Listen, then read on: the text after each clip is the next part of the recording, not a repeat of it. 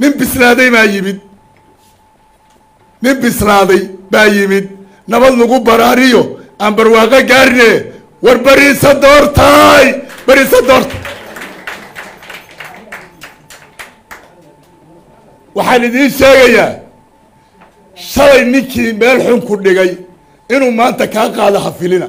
Xasan bariise waxaan is leeyahay wuxuu ka soo shaqeeyey maamul hoose ilaa maamul dhexe ilaa xogta soomaaliya ayaa maanta ugu jirta maxaanku rahaa diiwaanka ugu jirta qalbigu u weyn yahay qoraalna qoraalna uu ku haystaa waxay soo martay waxay eeday u og yahay waxaana fiican qofku markuu xil qabanayo war wixii la eeday wixii la eeday dalka ha ku celini wixii maarata wax la mahadso keen qofku inuu horta bal ku fakero musharaxa waa soo dhoweyneynaa bulshada soomaaliyeedna waxaan runtii ku bogaadinayaa sida qiimaha badan oo aada uga soo qeyb gasheen. Waxaan ugu baaqayaa insha allah xildhibaanada soo baxaya iyo iyo waxa aan u baahannahay inuu kow ka noqdo. Xasan bariise waa musharaxii ugu horreeyey oo hadda xilligan noo yeera. Ifafaalo fiican baa muuqda. Musharaxiintii way bilaabantay warkooda waa la dhegaysanayaa wax badan baa la rabaa inaynu guud ahaan bulshadu ay dadka dhegaystaan xasan bariise haddii uu waddada uu maro aanu isku oga inuu maro soomaali way isu imanaysaa taasaanuna qaadanaynaa gaarna waa u kulmaynaa mingirifoonkana hadduu ku soo noqonayaa oo somalilan waxbuu uga sheegayaa waxaan kaga baxayaa koonfurey been lahadoodile waxba tari mayse ninka haddaa qaadaysaana aan wada qaadno haddaydaan qaadayna somalilan baanu geynaynaa madaxweyne uga dhigaynaa. Midda kale xasan. Soo dhowow sharax soomaaliyeed baa tahay. Oday weyn oo rugcadaana waa tahay waqti dheer soo shaqeeyey waanu ku soo dhoweynaynaa. Haddii ilaahay kuu calfa meeshaas waad heli.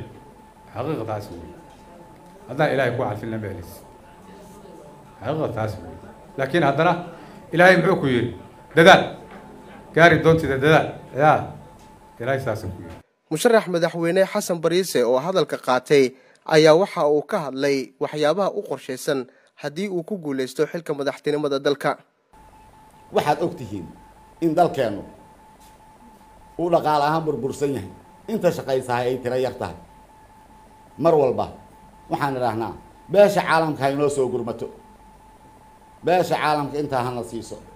Dowladaha aan walaalaha nahay intaa hana siiyeen. Walaalayaal dalkeennu haddii uu maamul helo waxaan maqli jiray iyadoo la yidhaahdo aqoolxumo abaar ka daran. Aqoolxumo abaar ka daran. Waxaan leenahay badda intaa la eg saddex kun iyo saddex boqol iyo soddon iyo saddex kilomitr dherarkeedu la egyahay waa xeebta ugu dheer qaaradan africa haddana maanta inaynu ka gaajoonayno iyadoo aan kari kari lahayn inaan la soo baxno waxaa ku jira ee nafacaad ah maalin ilaahay keena haddaad rumaysan kartaan baddeennaasi waxaa ku jira in ka badan laba kun oo markab oo boobaya wixii hantiyahu aan lahayn. Haddana weli waxaan weynay ilaa intaas aan soo soconnay cid iska xil saarta. Waxaanu aragnay qaar yidhaahda waan la heshiinay waxaan siinaynaa ruqsad ay ku kalluumaystaan. Qaar yidhaahdaanu aragnay oo ka qaada lacag aan noo goynin xataa lows inaan ku gadanno.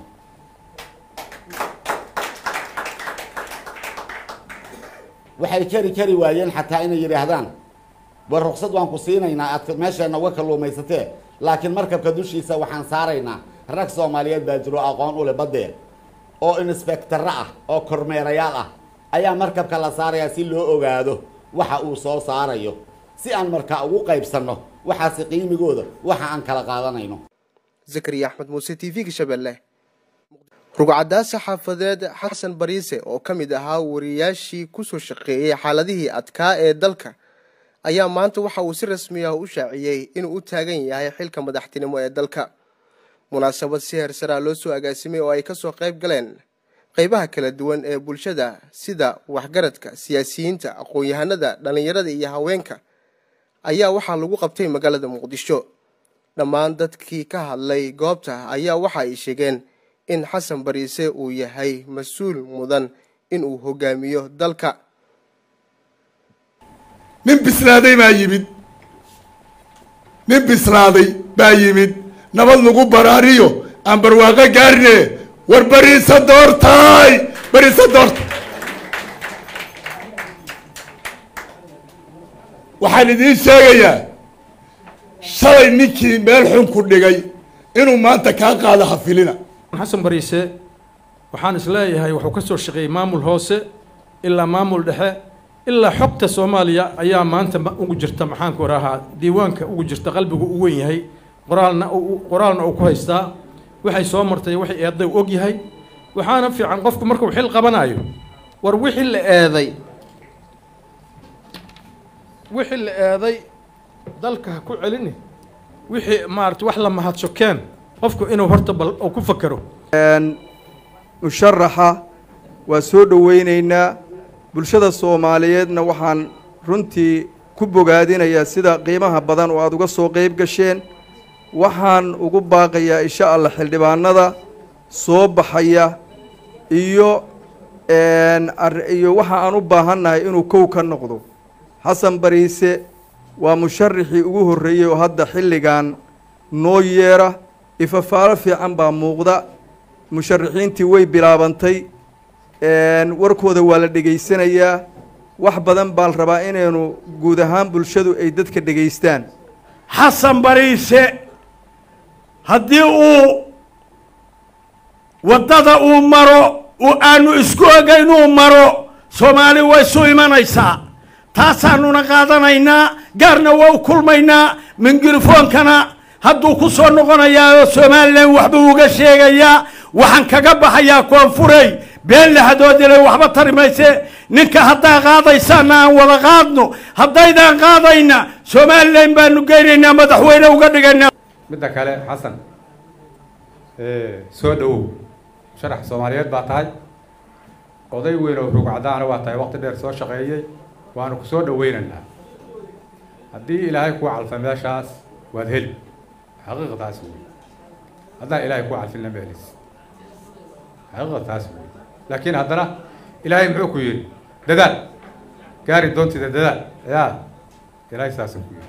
Musharax madaxweyne xasan bariise oo hadalka qaatay ayaa waxa uu ka hadlay waxyaabaha u qorshaysan haddii uu ku guulaysto xilka madaxtinimada dalka. Waxaad og tihiin in dalkeennu uu dhaqaale ahaan burbursan yahay. Inta shaqaysahay ay tiro yar tahay. Mar walba waxaan idhaahnaa beesha caalamka ha inoo soo gurmato. Beesha caalamka intaa hana siiso. Dowladaha aan walaalaha nahay intaa hana siiyeen. Walaalayaal dalkeennu haddii uu maamul helo waxaan maqli jiray iyadoo la yidhaahdo aqoolxumo abaar ka daran. Aqoolxumo abaar ka daran. Waxaan leenahay badda intaa la eg saddex kun iyo saddex boqol iyo soddon iyo saddex kilomitr dherarkeedu la egyahay. Waa xeebta ugu dheer qaaradan africa haddana maanta inaynu ka gaajoonayno iyadoo aan kari kari lahayn inaan la soo baxno waxaa ku jira ee nafacaad ah maalin ilaahay keena haddaad rumaysan kartaan baddeennaasi waxaa ku jira in ka badan laba kun oo markab oo boobaya wixii hantiyahu aan lahayn. Haddana weli waxaan weynay ilaa intaas aan soo soconnay cid iska xil saarta. Waxaanu aragnay qaar yidhaahda waan la heshiinay waxaan siinaynaa ruqsad ay ku kalluumaystaan qaar yidhaahdaanu aragnay oo ka qaada lacag aan noo goynin xataa lows inaan ku gadanno.